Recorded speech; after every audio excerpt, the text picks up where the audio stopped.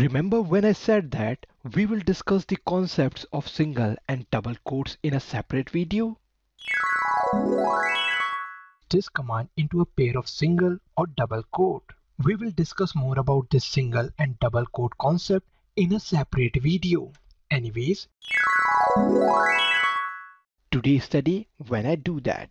What's up internet, I am Manish from rebellionrider.com and welcome to another amazing Python video. Today in this tutorial we will learn the concepts of strings and string literals in Python. So what are strings? In computer programming language, strings are nothing but a single dimension array of characters. In easy words, you can define a string as a sequence of characters. For example, Rebellion Rider is a string made up of 14 alphabetic characters and a white space, which in total becomes 15 characters.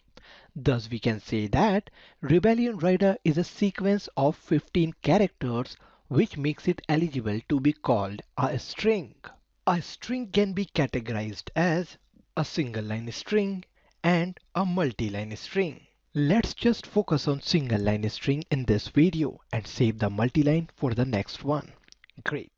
Every programming language has its own way of handling a string. Some of them are lenient while others are rigorous. Let's see how easy it is to handle a string in Python programming language. But before that, go ahead and press that thumbs up button and like this video.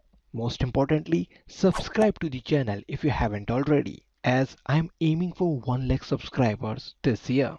Let's start. In Python programming language, there are multiple ways of handling a string. Among those, the most common are enclosing the string in single quotes and enclosing the string in double quotes. Apart from these two options, Python interpreter provides us one more way which is for handling multi-line strings. As I said earlier, we will discuss it in the next video. For now, let's learn when to use the single quotes and double quotes. Okay, right on your screen you can see three different examples of strings. Let's see how are they different from each other and how can we deal with them using Python programming language. The first string, which is I'm learning Python from rebellionrider.com, is a simple string as it does not contain any special punctuation sign. The second string, which is what's up internet, contains a special punctuation sign which is apostrophe at the starting of the string. While the third string, which is I'm going to be a Python programmer very soon, contains a phrase in the mid of the string which is enclosed into a pair of double quotes. Now let's do the demonstration and see how to deal with these strings. For this demonstration, my choice of editor will be Atom Editor. You can use whatever editor you want. Let's start with the first one, the simple string. In case of simple string, which does not involve any special punctuation signs, the choice of using quotation mark completely depends on you. You can enclose the string either in single quotes or in double quotes. For this string, I will use the single quotes.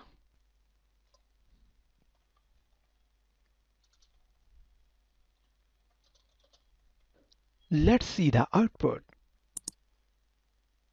Here we got the desired output without any errors. Now let's move on to our second string. The second string contains a punctuation mark which is an apostrophe sign. This apostrophe sign will require our special attention. Let me explain you why. Whenever Python interpreter starts processing a string, it looks for quotation mark. It could either be single quote or double quote. The opening quote indicates the starting of the string and closing quote indicates the end of the string. If either of these go missing, then it will raise an alarm which will end up in an error.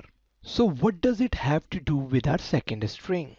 To understand that, let's write the code and see what do we get. Let's see the output. As our output, we got a syntax error. So the question here is, why this error? Let's try to understand what exactly happened here. So I enclosed the string into a pair of single quotes. When the interpreter starts, it comes across with the opening quote which indicates the starting of the string. And as it proceeds, it encounters the apostrophe sign. The interpreter translates this apostrophe sign as a closing single quote. And that's where the problem arises.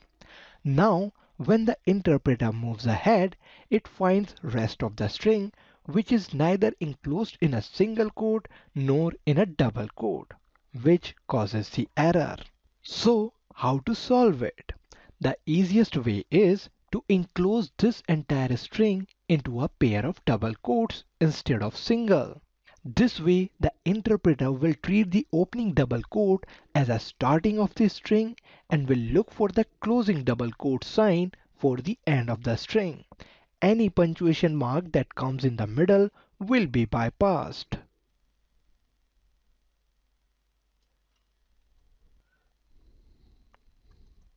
Now let's see if this string gets printed as is intended or not. Here is the output which is exactly the same as we desired. So in simple words, if you ever have to print a string which contains punctuation marks like apostrophe, then enclose that string into a pair of double quotes. Now let's move on to our third string. So far you must have gotten the idea of how Python handles strings, right?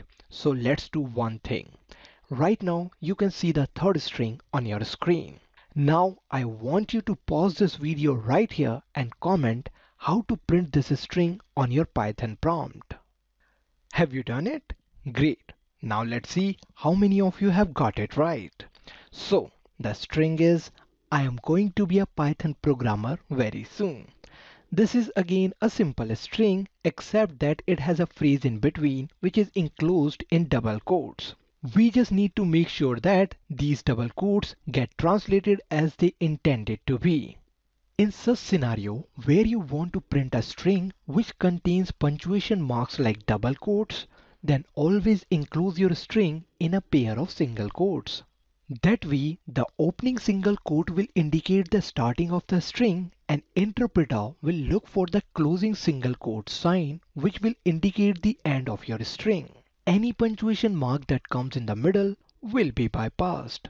Let me show you.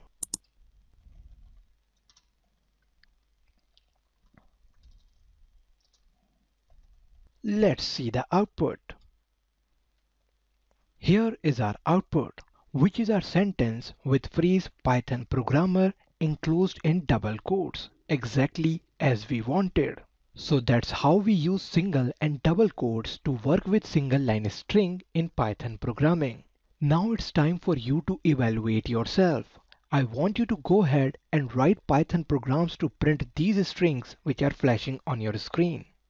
Let's see how much you learned.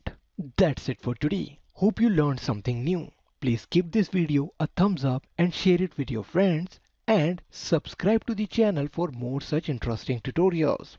Thanks for watching. This is Manish from RebellionRider.com.